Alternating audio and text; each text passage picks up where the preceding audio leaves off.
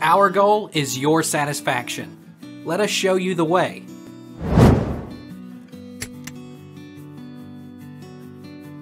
Can you transfer your Microsoft account to another account?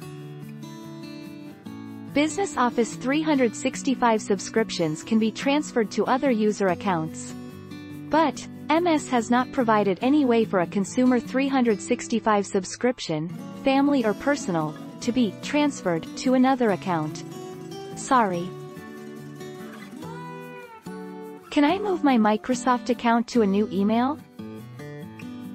You can make changes to the email addresses or phone numbers, aliases, that are associated with your Microsoft account. Here are some reasons you might want to make changes. You want to add or remove an email address or phone number. You want to use a different email address or phone number to sign in. Can I transfer my old Microsoft account to another email?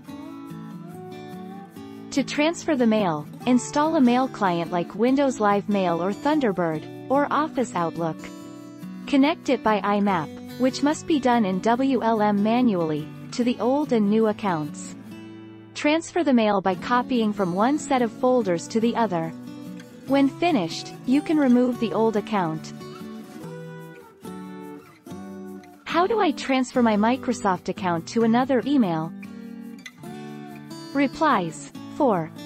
Log into your account by going to the website mail.live.com. Click the gear icon, next to your name, located in the upper right corner of the web page. Click on Options. Under Managing your account, click on Email Forwarding. Select Forward your mail to another email account. Then add an email address.